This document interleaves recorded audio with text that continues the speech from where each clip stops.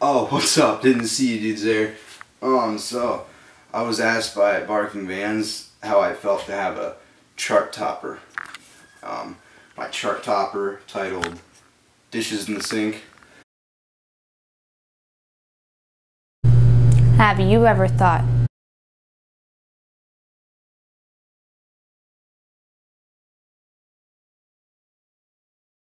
say I'm kind of the big thing of barking vans. The fuck you talking about? So my superpower is that whenever I walk by on the street and I see crime happening, I simply open my mouth wide, as shown, and I just go.